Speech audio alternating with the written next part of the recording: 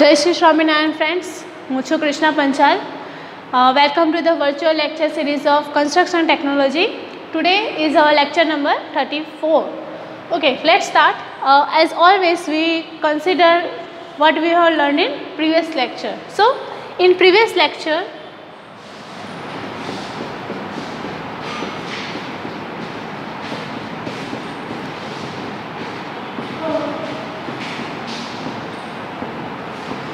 we have seen the another property of concrete which is hardened concrete.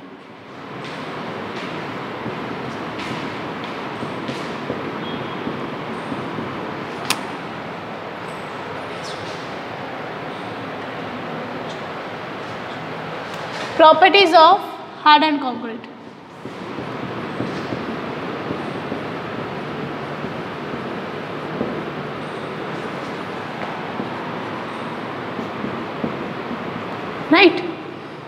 રીતે જ્યારે fresh concrete છે, હવે એની આપણે વર્કેબિલિટી ચેક કરી લીધી, બરાબર? તો હવે શું થયું એનું? એની વર્કેબિલિટી અને એના heat of hydration three water cement ratio પછી આપણે શું ફાઇન કર્યું હતું એનું કે હાર્ડન કોન્ક્રીટ કેવી રીતે થાય છે, બરાબર? અને એની સ્ટ્રેન્થ જે ગેઇન થાય છે, એ કેવી રીતે આપણે મેળવી શકીએ છીએ? એ સાથે આપણે લીધું હતું કે ગ્રેડ્સ ઓફ ડિફરન્ટ કોન્ક્રીટ કયા કયા ગ્રેડના આપણે કોન્ક્રીટ અવેલેબલ હોય છે?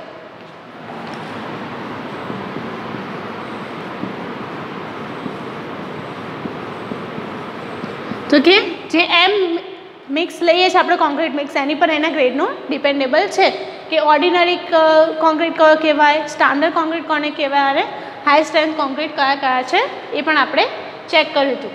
હવે in today's lecture we will consider after the process of harden and fresh concrete that what are the various kinds of concrete which are available in market બરાબર? કે કયા કયા ટાઈપના કોન્ક્રીટ છે એ માર્કેટની અંદર અવેલેબલ છે so let see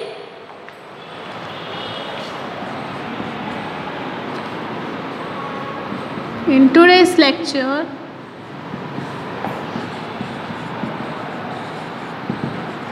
we will learn various types of concrete available in the market. So, let's start.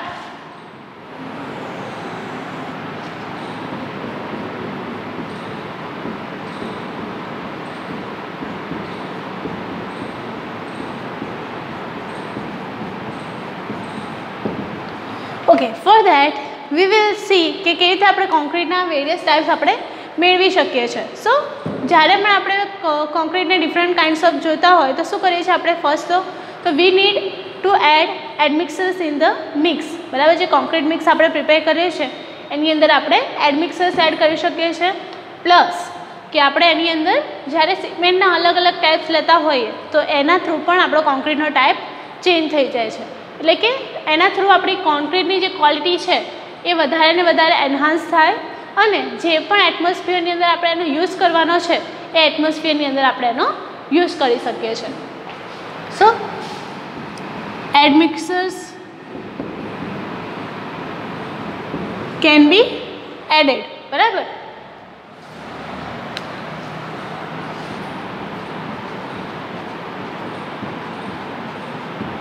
now let's see what are the different kinds of uh, special concrete તો એમાં આવે છે first તો કે light weight concrete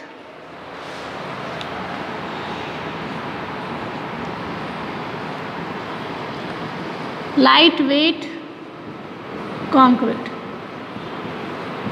okay તો light wet concrete કોને કહેવાય અને કેવી રીતે જનરેટ થાય છે, બરાબર? તો જ્યારે આપણને કોઈ કન્સ્ટ્રક્શન છે, જ્યારે હાઈ બિલ્ડિંગ પર આપણે કન્સ્ટ્રક્શન કરવાનું છે, બરાબર?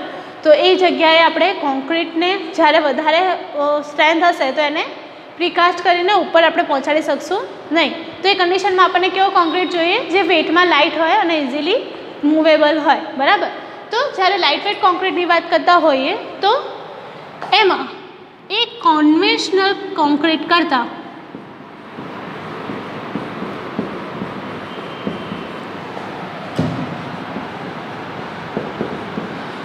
વજનમાં કેવો હશે? લાઇટ હશે. એટલે કે કન્વેન્શનલ કોન્ક્રીટની ડેન્સિટી કેટલી હોય છે? તો વેરાઇઝ થાય છે twenty two hundred to three thousand or thirty five hundred KG પર metre cube Density always measured in kg per meter cube quantity. And on the other hand,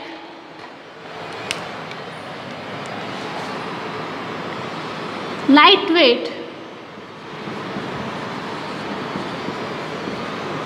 concrete density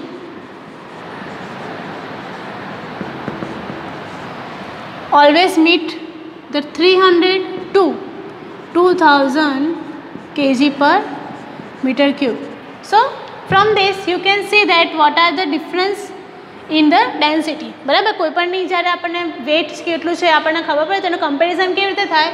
તો કે એને ડેન્સિટી થ્રુ થાય. બરાબર? તો light wet કોન્ક્રીટની જે density છે આપણને થર્ટી થ્રી હંડ્રેડથી ટુ થાઉઝન્ડ સુધીની અંદર મળી રહે છે, જ્યારે આની પર આપણને ઘણી બધી વધારે મળે છે. તો જ્યારે આપણે માસ કોન્ક્રીટિંગની વાત કરતા હોઈએ, તો લાઇટ વેટ કોન્ક્રીટ આપણને ઇકોનોમિક પણ ભણે છે અને વજનમાં પણ હલકું પડે છે. Okay so it saves money for high rise structures and reduces all over the dead loads economy for high buildings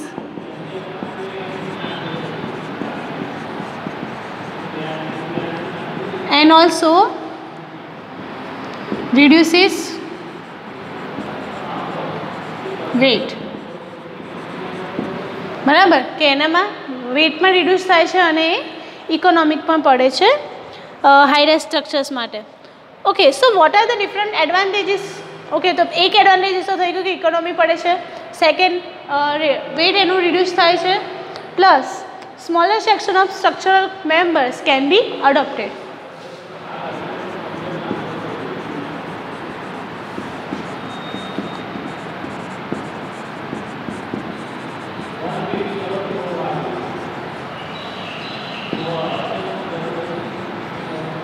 can be adopted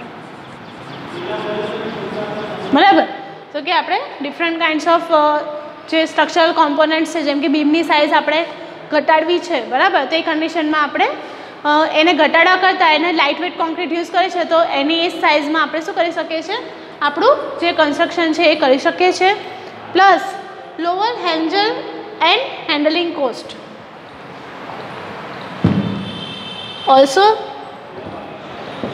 lower handling cost બરાબર? એનાથી આપણી જે હેન્ડલિંગ ઇક્વિપમેન્ટ હેન્ડલિંગ કરવાની જરૂર પડે છે, એની કોસ્ટ પણ કેવી પડે છે? ઓછી પડે છે. સો આ એના શું છે? એડવાન્ટેજીસ છે એની increase the progress of the work એટલે કે એના જે વર્ક કરવાનું પ્રોગ્રેશન છે, એને પણ એ ઇન્ક્રીઝ કરે છે. Okay after that let see કે જે આપણે ડિફરન્ટ કાઇન્ડ્સ ઓફ કોન્ક્રીટ છે એમાં બીજા કયા ટાઈપ્સ છે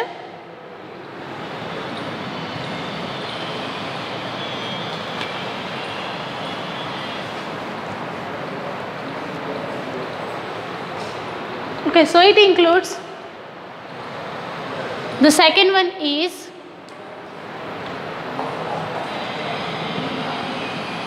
high density concrete બરાબર? જે આપણે લાઇટ વેટ કોન્ક્રીટ છે કેવી રીતે મેળવીએ છીએ તો કે લાઇટ વેટ એગ્રીગેટ્સનો યુઝ કરીને.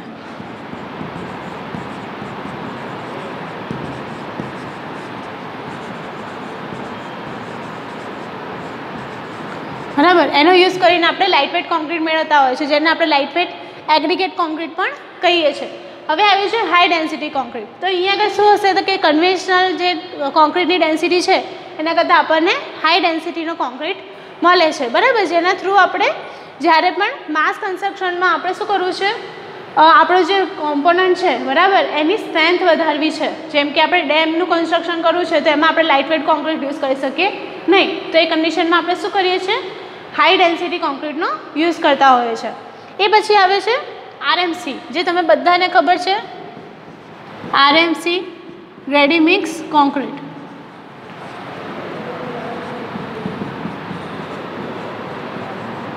બરાબર આરએમસી રેડીમિક્સ કોન્ક્રીટ એટલે કે શું કરે છે ઓન સાઇટ જ એને કન્સ્ટ્રક્ટ કરવામાં આવે છે. એટલે કે બધા જે ડ્રાય ઇન્ગ્રીડિયન્ટ્સ છે, એને ઓન સાઇડ જ જે પ્લાન્ટ છે એમાં બનાવવામાં આવે છે મિક્સ કરવામાં આવે છે અને એનું બેચિંગ કરીને પછી એને ટ્રાન્સપોર્ટેશન કરીને પ્લેસ કરવામાં આવે છે. સો રેડી મિક્સ કોન્ક્રીટ એ સૌથી વધારે અત્યારે યુઝ થતો ઇકોનોમિકલી પડે એવો કોન્ક્રીટ છે.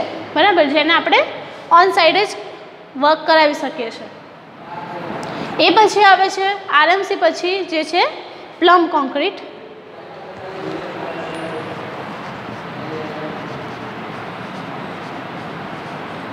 કોને કહીશું પ્લમ કોન્ક્રીટ તો કે પ્લમ કોન્ક્રીટ જે છે, એ કેવી પ્રોપર્ટી ધરાવે છે કે જે કન્વેન્શનલ કોન્ક્રીટ કરતાં વધારે સારી રીતે આપણે એને યુઝ કરી શકીએ છીએ? સો પ્લમ કોન્ક્રીટની અંદર આપણે ડિફરન્ટ કાઇન્ડ્સ ઓફ જે એડમિક્સર છે, એને એડ કરીએ છીએ. જેમાં આવે છે લાર્જ સ્ટોન્સ બરાબર? Large stones up to three hundred size three hundred એમએમના large સ્ટોન્સનો યુઝ કરે છે. બરાબર? એનાથી શું થશે? તો કે લાર્જ સ્ટોન્સ છે. અહીંયા આગળ આપણે એગ્રીગેટ્સનો યુઝ નથી કરતા, એની જગ્યાએ આપણે કરીએ છીએ સ્ટોન્સનો યુઝ એટલા માટે એને કેવું કહેવાશે? હેવી જે એગ્રીગેટ છે, એનાવાળું કોન્ક્રીટ કાં તો પછી પ્લમ કોન્ક્રીટ બંનેમાંથી એક કહી શકીએ છીએ આપણે. એ સિવાય આવે છે એરેટેડ કોન્ક્રીટ બરાબર કે જેમાં આપણે શું કરીએ છીએ?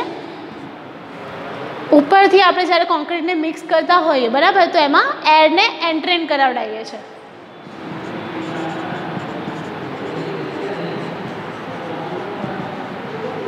બરાબર? એન્ટ્રેન્ટ કરાવીશું એને તો એનાથી શું થશે? તો કે એની અંદર જે વર્કેબિલિટી છે, બરાબર? તો એનાથી એની વર્કેબિલિટી વધી જાય છે. જેમ કે આપણે કોઈ પણ પાણીની અંદર સાબુ નાખી દઈએ છીએ, બરાબર? તો એ સાબુ આપણે જે પણ મેલ છે એને દૂર કરવામાં ઇઝીનેસ પડે છે, બરાબર? એ કેવું થઈ જાય છે? સોફ્ટ થઈ જાય છે આપણું વોટર હાર્ડ હોય ને તો.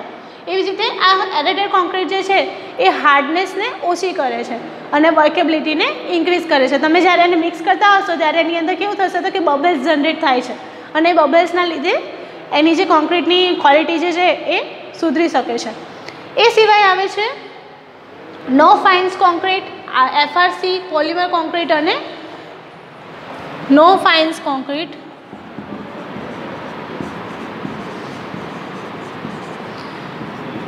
FRC concrete એટલે કે ફાઇબર રિન્ફોર્સ્ડ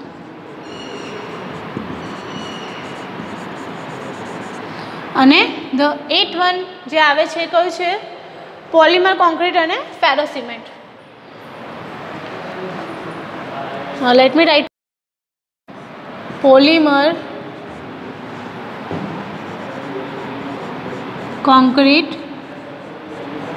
અને નાઇન્થ છે એ ફેરો સિમેન્ટ. ઓકે નો ફાઇન્સ એટલે કે શું કહેવા માંગે છે કોન્ક્રીટની અંદર? એની અંદર કોઈ જાતના ફાઇન એગ્રીગેટ્સનો આપણે યુઝ કરતા નથી. પછી ફાઇબર ઇન્ફોર્સ કોન્ક્રીટની વાત કરીએ તો ફાઇબર ઇન્ફોર્સ એટલે તમને ખ્યાલ હશે કે ફાઇબર્સ જે બને, રેશા જે હોય છે, બરાબર? પ્લાસ્ટિકના હોય ગ્લાસના હોય વુડનના હોય છે, એ બધાના રેશાનો યુઝ કરીને આપણે શું કરીએ છીએ? એઝ અ સિમેન્ટની સાથે આપણે એડ કરાતા હોય છે. એની પ્રોપર્ટી કેવી હોય છે? તો કે બાઇન્ડિંગ આપે એવી, બરાબર? અને સ્ટ્રેન્થ એની નોર્મલ સિમેન્ટ કરતાં વધારે હોય છે. તો આપણે ફાઇબર્સ એડ કરાવતા હોય એની અંદર, તો એને કહીએ છીએ આપણે ફાઇબર ઇન્ફોસ્ડ કોન્ક્રીટ અને એની tensile strength.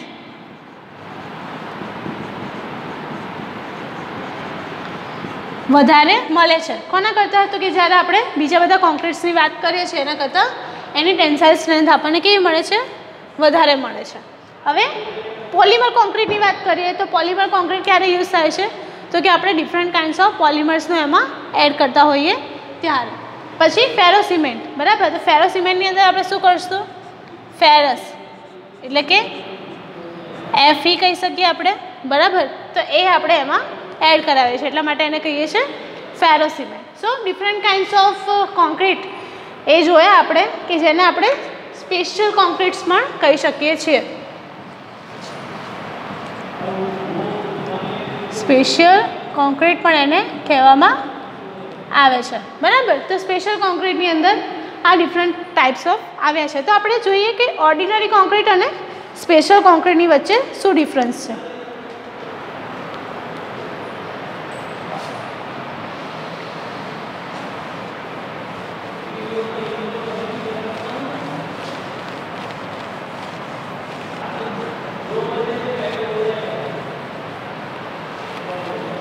Okay let see difference between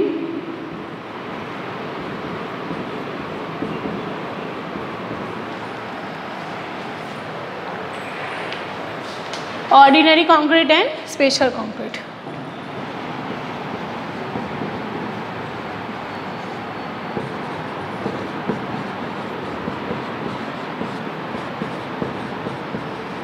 તો જોઈએ શું ડિફરન્સ મળે છે આપણને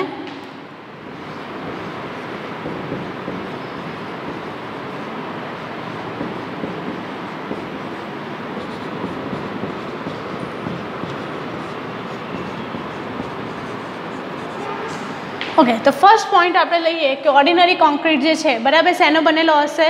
તો ખાલી ત્રણ ઇન્ગ્રીડિયન્ટ્સ બરાબર? જેમ કે સિમેન્ટ સેન્ડ અને એગ્રીગેટ સેન્ડ સિમેન્ટ એગ્રીગેટ બરાબર? અને એ સાથે આપણે શું એડ કરીએ છીએ એમાં? તો કે વોટર એક્સેટ્રા બરાબર? આટલા ચાર ઇન્ગ્રીડિયન્ટ્સમાંથી આપણે જે ઓર્ડિનરી કોન્ક્રીટ છે એ જનરેટ કરતા હોય છે. તો ઇન સિમિલર કેસ તો કે આ ચાર ઇન્ગ્રીડિયન્ટ્સ તો આમાં હોય જ છે. સેન્ડ સિમેન્ટ એગ્રીગેટ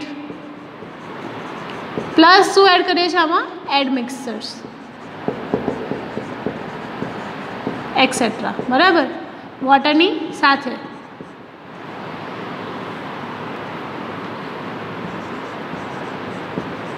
ત્યારે આપણે એને કહીશું સ્પેશિયલ કોન્ક્રીટ ક્યારે ક્યાં ક્યાં યુઝ થાય છે અહીંયા આગળ?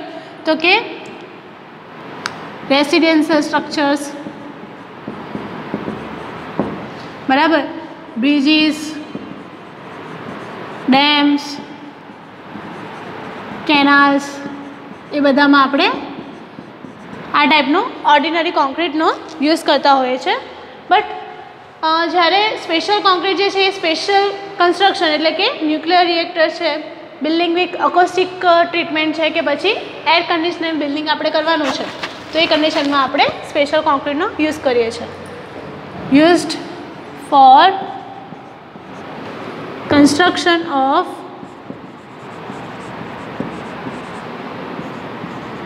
કયા કયા કન્સ્ટ્રક્શન આવે છે એમાં? તો ન્યુક્લિયર પ્લાન્ટ્સ બરાબર? એ સિવાય તો કે જ્યારે આપણે અકોસ્ટિક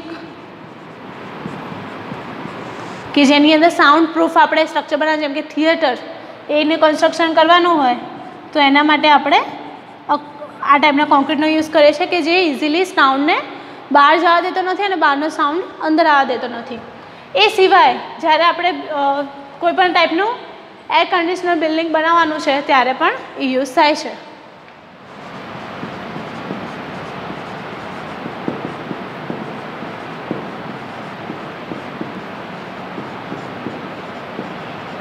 બરાબર? તો આ ટાઈપના જે કન્સ્ટ્રક્શન છે એમાં સ્પેશિયલ કોન્ક્રીટનો યુઝ થાય છે. એ સિવાયની પ્રોપર્ટીઝમાં શું આવે છે? તો કે ઓર્ડિનરી કોન્ક્રીટ છે, એ કેવી મેથડથી આપણે કરવું જોઈએ? તો કે કન્વેન્શનલ મેથડ યુઝ થાય છે.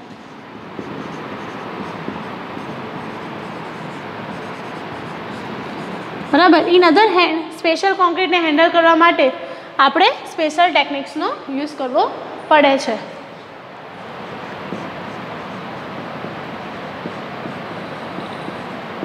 બિકોઝ એનું હેન્ડલિંગ કરવું થોડું ડિફિકલ્ટ છે અને થોડું ટ્રિકી પણ છે, એટલા માટે સ્પેશિયલ ટેકનિક્સનો એમાં યુઝ થતો હોય છે. એ સાથે properties of concrete like density strength are of normal strength અને જ્યારે આમાં શું છે? તો કે ડેન્સિટી કેવી હોય છે એની?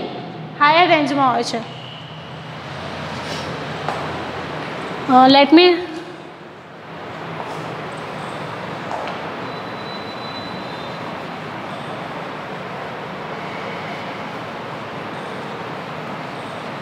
કન્વેન્શનલ મેથડ પછી આવે છે. Properties of concrete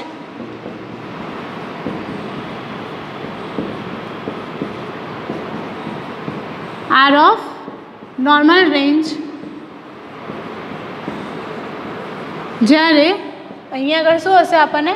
હાયર રેન્જની અંદર આપણને એની પ્રોપર્ટીઝ મળે છે. અહીંયા જેમ કે ડેન્સિટી છે. બરાબર? ડેન્સિટી હોઈ શકે. પછી એનો વોટર સિમેન્ટ રેશિયો હોઈ શકે. એ બધું નોર્મલ રેન્જની અંદર આપણને મળતું હોય છે. જ્યારે સ્પેશિયલ કોન્ક્રીટની અંદર કાં તો હાયર પણ હોઈ શકે અને લોઅર ગ્રેડના પણ હોઈ શકે છે. આ જે કોન્ક્રીટ છે, કેવો છે? ઇકોનોમિક છે. અને આ કેવું છે? કોસ્ટલી છે. બરાબર? સો આટલા ડિફરન્સ છે સ્પેશિયલ કોન્ક્રીટ અને ઓર્ડિનરી કોન્ક્રીટમાં ઓકે આજના લેક્ચરમાં આપણે શું કન્સિડર કર્યું હતું કે ડિફરન્ટ કાઇન્ડ્સ ઓફ કોન્ક્રીટ કયા કયા છે? અને એના કેવી રીતે આપણે ડિસ્ટિંગાઇઝ કરી શકીએ છીએ? બરાબર? કે ઓર્ડિનરી અને સ્પેશિયલ કોન્ક્રીટની વચ્ચે શું ડિફરન્સ છે? So in next lecture we will consider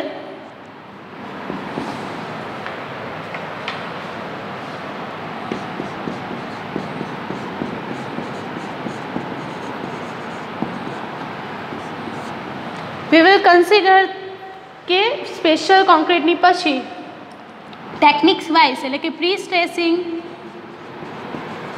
concrete કેવી રીતે વર્ક કરે છે. બરાબર? એ આપણે નેક્સ્ટ લેક્ચરમાં કન્સિડર કરીશું. સો આજના લેક્ચરમાં આટલું જ. આજના લેક્ચરનો ક્વેશ્ચન છે તમારું, તો કે difference between ordinary and special concrete બરાબર? નોર્મલ જ વર્ડ્સ છે, એટલે તમે ઇંગ્લિશમાં પણ એને લખી શકશો. So complete your assignments on the time. And uh, in next lecture we will see what we have learned and what we will be learning. Okay jai shri swaminarayan i am signing off